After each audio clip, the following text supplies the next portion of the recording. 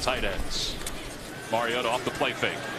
Steps up in the pocket. Going long. He's got a man wide open. Diving grab. Kendall Wright into the end zone. Touchdown Titans.